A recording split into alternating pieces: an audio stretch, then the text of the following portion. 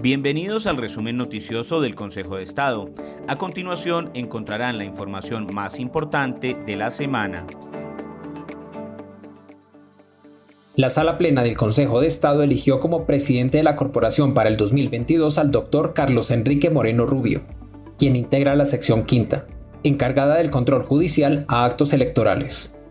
Es abogado de la Universidad Libre de Bogotá y especialista en Derecho Administrativo de la misma institución. En la Universidad Externado de Colombia se especializó en Derecho Laboral y Relaciones Industriales. También es especialista en Derecho Tributario y en Derecho Procesal del Colegio Mayor Nuestra Señora del Rosario. Fue secretario de la sección cuarta del Tribunal Administrativo de Cundinamarca. Fue laboral y magistrado auxiliar de la Sala de Casación Laboral de la Corte Suprema de Justicia. También fue magistrado en propiedad en el Tribunal Administrativo de Cundinamarca y trabajó para la Gobernación de Boyacá. El doctor Moreno Rubio reemplaza en el cargo a la doctora Marta Novia Velázquez Rico, magistrada de la sección tercera. Las 48.188 sentencias emitidas por el Consejo de Estado en el 2021 y las 211 sentencias anticipadas que se dictaron gracias a la última reforma al Código de Procedimiento Administrativo y de lo contencioso administrativo fueron algunos de los logros registrados en nuestra rendición de cuentas. El evento, liderado por nuestra presidente del 2021, Marta Nubia Velázquez Rico dio cuenta del balance de gestión de nuestra corporación durante el año que acaba de concluir.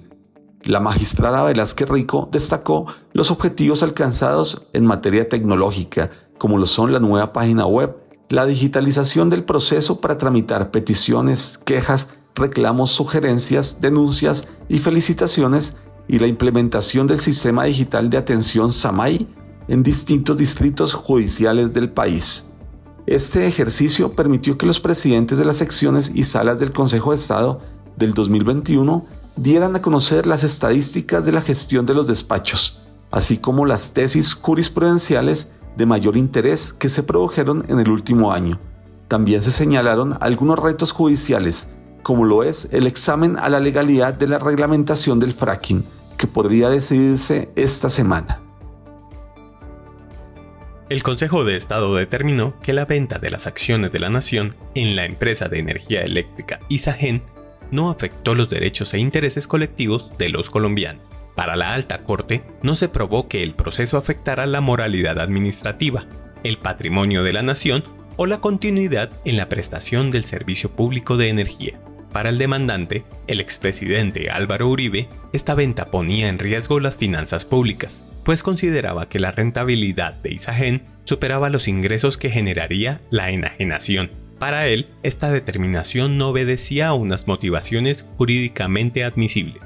Para el Consejo de Estado, la decisión de vender sí fue producto de las circunstancias jurídicas en las que debería haberse fundado, pues obedeció a un Consejo de Política Económica y Social, CONPES del 19 de abril de 2004. Allí se concluyó que era necesario adelantar el proceso para financiar diferentes proyectos de interés. Destacó que al inicio del proceso las acciones estaban avaluadas en 5,8 billones de pesos y su venta fue por 6,4 billones de pesos. Hasta aquí el resumen informativo del Consejo de Estado. Hasta pronto.